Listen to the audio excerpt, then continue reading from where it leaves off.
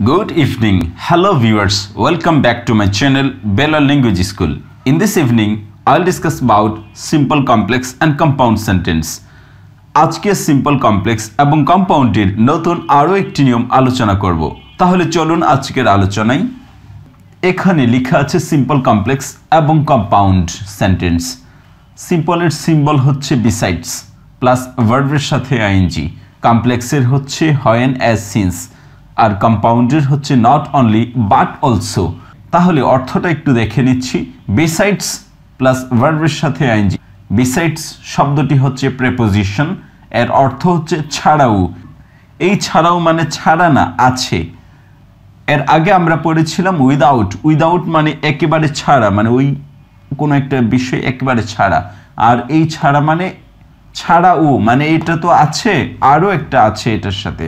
আর কমপ্লেক্সে হবে হয়েন S since যখন, তখন। এটাই হবে হয়েন এস সিন্স যখন, তারপরে সেন্টেন্সের মাঝখানে একটি কম আসবে, এর অর্থ হবে তখন। আর এখানে নট অনলি এটাই না বাট অলসু ওইটাও মানে এটাও খাবে, ওইটাও খাবে। যখন এটা খেলো, তখন ওইটাও খেলো। এটা ছাড়া আরও একটা খেলো। তাহলে অর্থটা বুঝিয়েছি সিম্বল দেখে। এবার সেন্টেন্স দেখে অর্থটা মিলানোর চেষ্টা করি।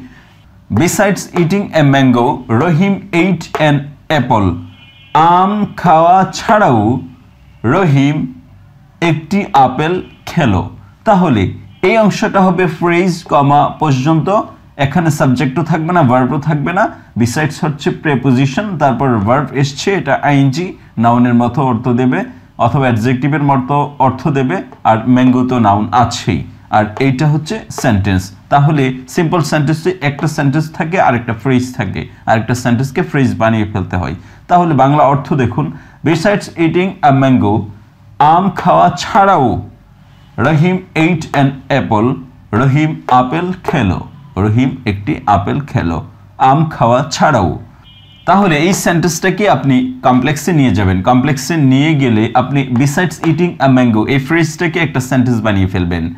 তাহলে এই ফ্রেজটাকে একটা সেন্টেন্স বানিয়ে ফেললে হবে, হয়েন যখন রহিম রহিম এইট খেলো এ ম্যাঙ্গো একটি আম খেলো। রহিম যখন একটি আম খেলো, অথবা যখন রহিম আম খেলো, একই কথা। রহিম যখন একটি আম খেলো, অথবা যখন রহিম একটা আম খেলো। আর কমা, এর অর্থ হচ্ছে তখন হি এইট অ্যান অ্যাপল সে একটি আপেলও খেলো। অর্থটা এটার সাথে মিল থাকবে। আম খাওয়া ছাড়াও রহিম আপেল খেলো। যখন রহিম আম খেলো, তখন রহিম আপেলও খেলো। এই ওয়ের অর্থ সাধারণত ইংলিশে আসে না, কিন্তু বাংলায় বলতে হয়। অলসো এর ইংলিশটা হচ্ছে। তাহলে অর্থ একই। এইটা একটা সেন্টেন্স বানিয়ে ফেলছি, এই ফ্রেজটাকে এই ভার্বটাকে এইট বানিয়ে ফেলেছি। আর পরে যে রহিম ছিল, এই রহিমটাকে এখানে নিয়ে এসছি। আর পরে এখানে যে রহিম হওয়ার কথা ছিল, এই রহিমটা হয়ে গিয়েছে হি। কারণ আগে তো রহিম ব্যবহার করে ফেলেছি এখানে। তাহলে এই সেন্টেন্সটাকে পরিবর্তনের সময় এই রহিমকে আপনি সামনে নিয়ে সেন্টেন্স বানিয়ে ফেলবেন এইটাকে। আবার এই রহিমের জায়গা যখন শূন্য হবে, তখন এখানে হি বসাবেন, কারণ সামনে রহিমটা ব্যবহার করে ফেলেছেন। তাহলে এভাবে কমপ্লেক্সটাও আমরা পড়ে ফেলেছি। যখন রহিম আম খেলো, রহিম তখন আপেলও খেলো, যেভাবে ইচ্ছে আপনি সেভাবে অর্থ উঠাতে পারেন, কিন্তু সিকোয়েন্স অনুযায়ী অর্থ উঠাতে হবে। যখন এরপরে একটি সেন্টেন্স তখন এরপরে আরও একটি সেন্টেন্স মানে দুইটি সেন্টেন্সের অর্থ উঠাতে হবে এখানে, আর এখানে একটি সেন্টেন্সের অর্থ উঠাবেন, আর আরেকটি ফ্রেজের অর্থ উঠাবেন। আর এই সেন্টেন্সটাকে যখন আপনি কম্পাউন্ডে নেবেন, তখন নট অনলি বাট অলসো এটা বসবে। তাহলে প্রথম রহিম, এই রহিম এইট তারপর নাউনের আগে দিবেন not only mango but also an apple Rahim, খেলো, শুধু আমই না আপেলু অথবা রহিম, শুধু আম না আপেলু খেলো।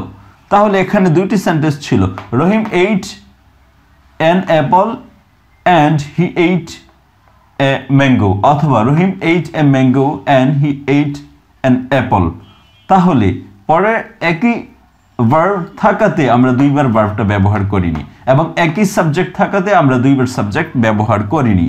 তাহলে Rahim ate not only mango but also an apple এখানে নাউনের আগে নট অনলি এবং পরের নাউনের আগে বাট অলসো বসিয়েছি। আবারও বলেছি ভার্বটা কেন বসেনি? এখানে যেই ভার্ব এখানে ঠিক একই ভার্ব এখানে যে সাবজেক্ট এখানে ঠিক একই সাবজেক্ট এই জন্য কম্পাউন্ডে একই সাবজেক্ট হলে অথবা একই ভার্ব হলে এটা বসাতে হয় না। তাহলে বাংলা অর্থটা দেখুন কীভাবে উঠিয়েছি। রহিম, শুধু আম না, আপেলও খেলো। নট অনলি বাট অলসো এটা না, ওইটাও। মানে আমও না, আপেলও খেলো। অথবা, রহিম, শুধু আম খেলো না, আপেলও খেলো। এভাবে উঠালেও অর্থ হবে, কারণ দুইটা আলাদা আলাদা ইন্ডিপেন্ডেন্ট সেন্টেন্স আবার এভাবে উঠালেও হবে, কারণ এখানে দুইটা আলাদা আলাদা ইন্ডিপেন্ডেন্ট সেন্টেন্স দুটোতেই ভার্ব আপনি ব্যবহার করতে পারেন, কোনো সমস্যা নেই। কিন্তু ইংরেজিতে রিডান্ডেন্সি হয় না, তাই ইংরেজিতে উঠানো যাবে না। তারপর এখানে দেখুন, Rita plays cricket besides football Rita cricket খেললো বিসাইডস ফুটবল ফুটবল ছাড়াও। তাহলে এখানেও আমি একটি নাউনের আগে বিসাইডস দিয়েছি। বিসাইডস নাউনের আগে দিলে একরকম এবং ভার্বের আগে দিলে আরেক রকম অর্থ হয়। তাহলে এই সেন্টেন্সটাকে দেখুন when Rita plays football she also plays cricket অলসোটা দিতে হয় না। রিতা যখন ফুটবল খেললো, তখন সে ক্রিকেটও খেলল। একটি সেন্টেন্সকে একটি সেন্টেন্স রাখবেন, আর এখানে বিসাইডস মাঝখানে থাকলে কমা দিতে হয় না। আর সামনে থাকলে বিসাইডস মাঝখানে একটি কমা দিতে হয় ফ্রিজটা যেখানে শেষ হয়েছে।